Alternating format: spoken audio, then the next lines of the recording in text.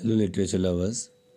Today I am going to discuss the overview of American literature and starting with the colonial literature and colonial period of that of America into 1776. These were the cultural and European influence. You can read it clearly and starting with Anne Bradstreet and how she started to be the first poets to write English verses in American colonies and also the first American book published by a woman. And second comes Mary Rowlandson and the kept she's the captivity narrative describing the 12 weeks she spent in American Indian Americans and being attacked on her village and her prose work as an American woman and her work cotton mather is also type of it. I'm talking about the revolutionary literature that started from 1776 to 1820 and how the poet philip marked it and followed by william cullen and h.l mencken. Next comes Phillis Wheatley and becoming one of the most notable poets of her age and the first African American writer uh, to be noted. And the her works are being discussed here clearly. And next come the one of the most renowned writers of that era, and James Fenimore Cooper, and mostly famous James Cooper. So his works really published in the name first book comes Precaution 1820 and it was a conventional novel of English manners although it was not such a success as The Spy and the American Revolution. And there are many works that really marked uh, my one recommendation would be the story of the Natty Bumppo and he's just the most famous character and also the leather stocking tales that really marked as a fashionable symbol of that period. And the more renowned works are coming right now. That is Washington Irving and his works. Since he belonged to some very educated, well to do family, so his works are really more refined and talking about American literature clearly, especially his work, History of Christopher Columbus, and talking about it in detail. Now comes the romantic period of in American context which arrived in 1820s and 1860s and it really marked the works of great American Renaissance by R.W. Emerson and H.D. Thoreau, Walt Whitman and Herman Melville, not to forget Margaret Fuller. And here the American writers talked about the self-reliance individualism and so making making it more stronger especially in massachusetts being the first rural artists. And other works by them really marked it especially the thoreau's independence experiments in living individually and matters related to it. Not to forget walt whitman and his leaves of grass and also a song of myself which were very famous. Now comes a different kind of group that is the boston brahmins. And it is also marked as one of the greatest works uh, and writers related to the scholar h.w longfellow which really talked about it. And here comes a really special author nathaniel hawthorne whose really most famous work which really marked as a milestone in American literature and my personal favorite, The Scarlet Letter, published 1850. This is really talking about the Puritan era and the religious and sexual freedom being harassed by the society, and it really talks about it. And the novel is itself very interesting. If you get a chance to read it, never miss it. And the movie based on it is also good. And the older version is good not the new one now comes another very special writer and so famous, Herman Melville, and the most famous and remembered novel is Moby Dick, and it is also filmed so many times. And now comes another very special writer that's Mark Twain's Huckleberry Finn, and really talked about work and very famous. Um, here we can talk about it in detail. We are talking about the Moby Dick and how the tale is really being discussed. Here comes the H.W. Longfellow, the American poet, and very celebrated one, especially with his poetry. And here comes E.A. Poe, that is Edgar Allan Poe, and very famous works. And my personal favorite is Fall of the House of Usher, and that really marked a different kind of genre. Now, feminism was also quite popular at that period, and talking about Margaret Fuller being the first professional woman journalist in America, so we can see how society changed. it. Not to forget Harriet Beecher Stowe and the famous work is Uncle Tom's Cabin, which really marked a different kind of genre.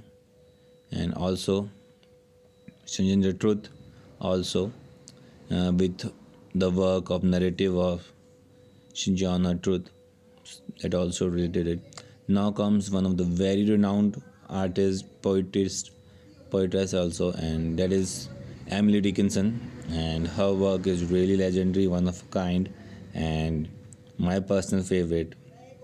Now comes the realism that started from in the Civil War in America and really took it to another level Mm, in 1860s to 1914 and there comes the emergence of Mark Twain and the meaning of this pseudonym of Mark Twain started with the two fathoms deep and the phrase is very popular in the Mississippi River, so that really marked it of their own. And the very famous work, and my personal favorite here is Adventures of Tom Sawyer. If you get a chance, go for it. It is really good. I'm sure most of you would be aware of it. And also, not to forget, Adventures of Huckleberry Finn. It is also super duper famous and very best selling work and especially Mark Twain's realism is unconventional and really marked will make your day if you get a chance to read it and since we are quite acquainted with the works here you can re- make your time very useful here next comes henry james and his works are quite lengthy but some of you would really like it especially my personal favorites are Wings of the Dove, and The Ambassador, and not to forget The Golden Bowl. So these works really marked it, and not to forget Turn of the Screw will really also good. Sarah Jewett, another writer, and Dreiser also very good, and works are also quite good. Especially Sister Carrie will really make it up to the mark, being the first book verse of English literary influence. And next comes Willa Carter, Cather, and the works are also good. You can have a look at it. Next comes Robert Frost, and this American poet is out of the box and being the first literary success is with a boy's will and especially not to forget he's become the first poem to be read on the president's inaugural function. So that really talks about it. And the collection name is New Hampshire, and he won the first four Pulitzer prizes. So that is an achievement of its own, and my personal favorite also. Now another comes Sinclair, very renowned work, especially the jungle, and the context is quite related. And also he also won Pulitzer Prize in Fiction. Now comes a literary genre of its own that is Chicago Renaissance, eh, which was led by Edgar Masters and Carl Sandburg. So, another work is related to the modernism, which started in 1920s to 1945. Gertrude Stein really marked it, and later on by Ernest Hemingway, who also won Nobel Prize and great work is The Sun Also Rises. Not to forget Walter Scott and T.S. Eliot. And although T.S. Eliot really belonged to Britain since he remained there because of the Civil War in America, he shifted to England. But still, not to forget William Faulkner being a Nobel laureate and also John Steinbeck. He is also a Nobel laureate, so all both should be mentioned clearly being part of American literature. Louis Sinclair, also great, is very famous for the Babbitt series and Arrowsmith uh, winning Pulitzer prizes, so we can really talk about it. O'Neill, being a Nobel laureate, marked his works, and especially uh, Pulitzer Prize were also mentioned. And my personal favorite is not to forget Mourning Becomes Electra. The works are really great. Not to uh, next comes Pearl S. Buck. She is also a Nobel laureate and one of a kind because her Chinese novels are really out of the box and you. Now comes F. Scott Fitzgerald and his works really talking about the Great Gatsby, one of the finest works, and talking about the great American Dream. William Faulkner also talking about the Nobel laureate, and the books are out of it. Very famous work is Sound and the Fury, so you can see how these works are being bifurcated, and the variety is so rich, and especially the locale they use here is filled with exclusive variety. And he is talking about uh, Ernest Hemingway and his special and most one of the most famous work is sorry I missed it. His very, very famous work is not to forget Farewell to Arms my personal favorite never miss it.